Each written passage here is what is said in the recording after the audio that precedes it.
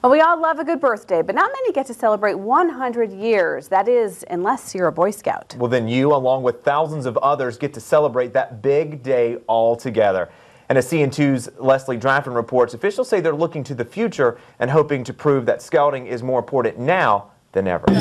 In the shadow of Carowinds' famous roller coasters, more than 2,000 Boy Scouts from across the area are celebrating the organization's 100th birthday. They want to grab the younger kids, which is part of the big audience for Carowinds, and to get them involved in what scouting can be and what they can get out of it. These scouts are taking part in an outdoor expo and visiting Adventure Base 100, a museum on wheels displaying artifacts and information about the scouts throughout the past 100 years.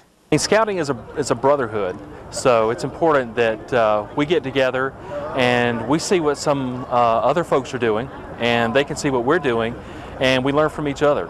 According to troop leaders, this expo is about honoring the past and looking for new ways to encourage boys to join the Scouts. I think the future of scouting is is trying to speak to kids today in their language, but still getting them to go into the outdoors. We're going to bring a program of excitement, scouting, fun, duty to God, duty to country, families, bringing families together, and uh, and bring boys and, and build better leaders, better citizens for our community. Members of Fort Mill's Troop 108 say this event showcases all the reasons they love scouting. It's fun and you learn a lot of new things every day. You get to hang out with your friends and go on just different campouts. And they say it makes them proud to be a Boy Scout. At Carowinds, Leslie Draffin, CN2 News. Hmm.